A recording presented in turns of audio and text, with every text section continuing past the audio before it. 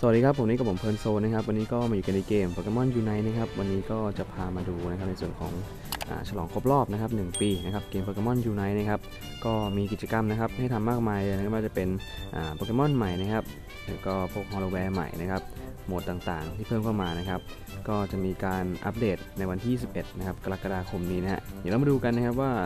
ฉลองครบรอบ1ปีมันมีอะไรเราทำบ้างนะครับมีอะไรน่าสนใจนะครับ ก็มาติดตามได้ในคลิปนี้เลยนะครับ ก่อนจะเล่นก็ฝากกดไลค์ตามช่องเพื่อเป็นกำลังใจในการทำคลิปต่อไปของช่องด้วยเลยกันนะครับ เรามาดูนะครับในส่วนแรกเลยนะครับ ตัวเกมนะครับได้ประกาศออกมาแล้วว่าจะมีโปเกมอนเข้ามาใหม่นะครับโดยโปเกมอนเข้าใหม่จะมีทั้งหมด 6 ตัวด้วยกันนะครับผมอะเดี๋ยวเรามาเริ่มกันเลยดีกว่านะครับในส่วนของโปเกมอนนะครับใหม่ 6 ตัวเนี่ยเราเคยรีวิวกันแล้ว 2 ตัวใช่ไหมฮะมาเริ่มกันที่โปเกมอนตัวแรกนะครับก็คือเกรเซียนะครับตัวนี้จะได้มาฟรีนะครับเขาจะให้เราทำกิจกรรมนะครับตั้งแต่วันที่ 11 นะครับกรกฎาคมจนถึง 14 สิงหาคม ก็ได้ไปฟรีๆเลยนะครับผม ตัวที่2เนี่ยจะเป็นมัชชิบูนะครับจะเข้ามาวันที่ 4 สิงหาคม ตัวที่ 3 ก็จะเป็นบันกิรัตเข้ามาวันที่ 16 สิงหาคมนะส่วน 2 ตัวนี้อาจจะต้องทำกิจกรรมหรืออาจจะต้องซื้อนะครับเดี๋ยวดูกันอีกทีหนึ่งแล้วก็เขาบอกว่าเนี่ยเดือนกันยายนเนี่ยจะมีเข้ามาอีก 3 ตัวนะครับ แต่ยังไม่บอกเป็นตัวอะไรนะ เดี๋ยวเรามาลุ้นกันอีกทีหนึ่งนะครับผมทั้งหมดก็จะเป็นหมด 6 ตัวด้วยกันนะ แล้วก็จะมีในส่วนของนะครับ gameplay แล้วก็กิจกรรมอีเวนต์ใหม่นะครับซึ่งในส่วนของ gameplay และอีเวนต์ใหม่เนี่ย มันก็จะมีในส่วนของอาการนะครับที่เข้าโหมด Boss Rush นะครับการเข้าต่อสู้กับพวกบอสต่างๆ ในเกม Pokemon UNITE นะครับก็เมื่อเราเข้าต่อสู้แล้วนะครับ เราจะได้ในส่วนของแต้มนะครับ ซึ่งเอาแต้มเนี่ยมาสะสมแล้วก็แลกของรางวัลไปนะฮะก็แข่งแรงกันด้วยนะครับ ก็เป็นกิจกรรมหนึ่งนะครับที่น่าสนใจในการสู้บอสนะครับผม อีกอันนึงนะฮะก็จะเป็นในส่วนของ Energy Reward นะครับ มันจะมีเหรียญตรงนี้เข้ามาเพิ่มนะครับในการสุ่มนะ ปกติเราจะได้พวกไอเทมต่างๆ ใช่ไหมไอเหรียญตัวนี้ยังไม่แน่ชัดนะครับว่ามันใช้ทำอะไรนะ แต่มันก็จะมีเหรียญทองเหรียญเงินเหรียญทองแดงนะ คิดว่าน่าจะเป็นเหรียญที่เอาไว้ใช้ในการแลกอะไรสักอย่างหนึ่งเกี่ยวกับโปเกมอนเนาะถัดไปนะครับก็จะเป็นอ่า Battle Pass นะครับ รอบนี้ก็จะเป็น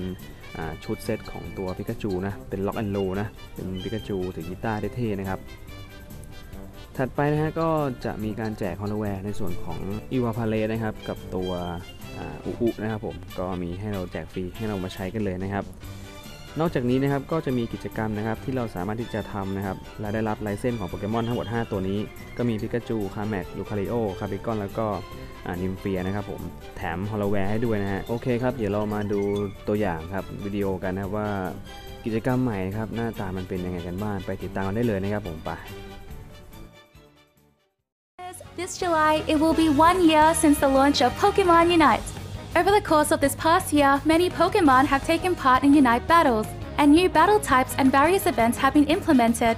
Now, to commemorate the one year anniversary, let's introduce new Pokemon that will be taking part in Unite battles, as well as a new type of battle.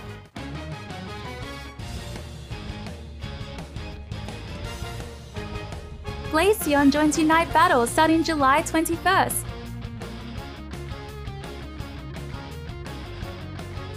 You can get Glaceon's Unite license from the IC Glaceon Challenge event. In August, Buzzwole and Tyranitar will arrive. Finally, in September, three more Pokemon will be joining the roster.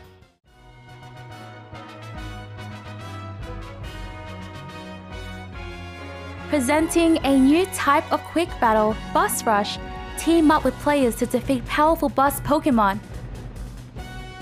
Unite squads will also be able to compete for rankings in Boss Rush. Try to make it to the top of the rankings.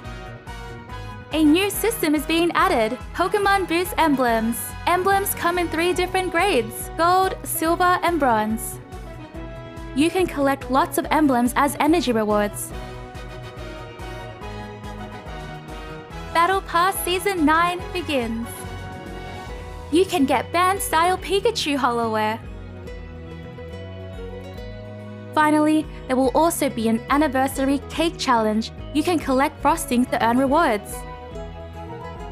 Pokemon Unite will keep getting more and more exciting as it approaches its one year anniversary. Events are also planned for September, so please look forward to them.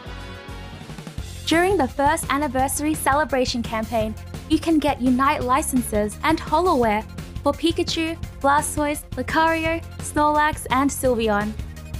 Also, this is a good time to play with friends. We have lots of great events that are even more fun if you play together and many more campaigns and events are on the way. Please visit the official Pokemon Unite website for more information about the events and campaigns planned for the one year anniversary.